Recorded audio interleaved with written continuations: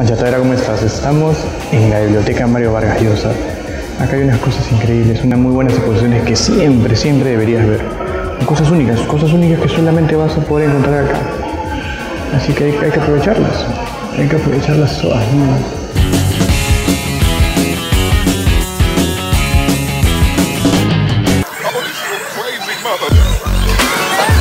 Lo que pueden ver es una ilustración de dónde se sentaba Vargas Llosa. Imagino que no saben qué local es, así que no se los pienso decir. Pero ahí está. ¿Dónde se sentaba Llosa cuando iba a ese típico bar que vamos todos los buenos? Los Inocentes, Limen Rock, el libro de... Miren, esta es la primera edición, Osvaldo Reynoso. Genial, y miren estas fotos, una sesión de fotos tomadas en base a la misma historia. En partes importantes de la historia y las han trabajado en fotos. Es, ahí podemos ver a MC Dinero. Es una reversión moderna de, del libro. La mañana del 5 de agosto, el gato. Este es una, un breve de resumen de Los Inocentes. Es un libro que compramos, que también ya para este mes quería importante leerlo. Machatavera, estamos en la zona externa de la estación de Desamparados. Este era el lugar donde la gente venía a esperar a tomar el tren.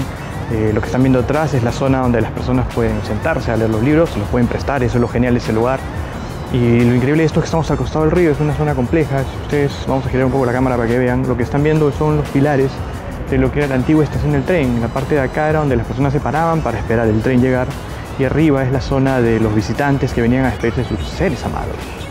Pueden ver el puente de piedra, más conocido como el puente Trujillo, que es el que nos lleva hacia el Rima. Lo que están viendo son las máscaras, ¿ah? las máscaras originales de los músicos ambulantes, esta historia tan pero tan conocida de Yuyashkani. Pueden ver del archivo, esas son las máscaras del año 82.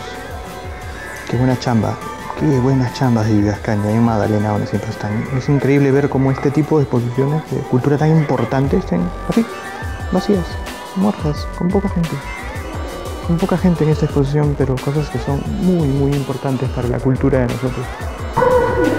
Esto es alucinante, miren esta, vamos a hacer un acercamiento primero, miren una exposición de los muñecos. Es una obra bien, bien antigua, muy, muy antigua.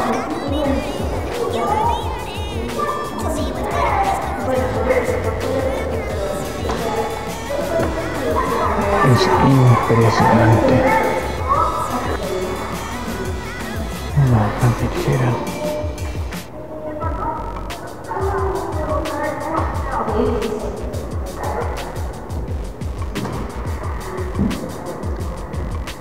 Esto me parece alucinante, ¿no? El décimo de Nicomedia Santa Cruz, la primera edición. Estamos hablando del año 60, si no me equivoco. No, sí, el año 60. Ediciones antiguas de Paco Yunque.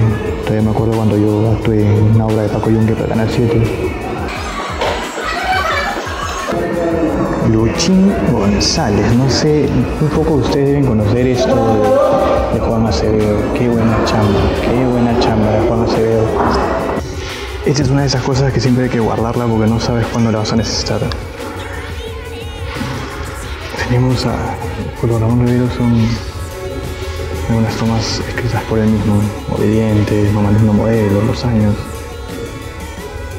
pretencioso, huevón, triste, ni en los años, años 57, romántico, guapetón, guapetón es este, me gusta, ocupado años 64, miren cómo influenciada Sandra nuestra de esa época, George Harrison, inteligente, secreto, asustado,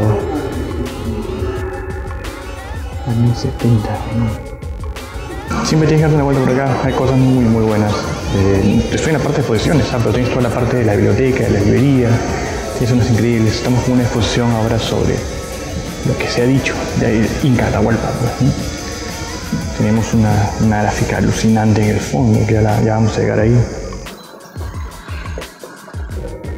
El mito del Incavi.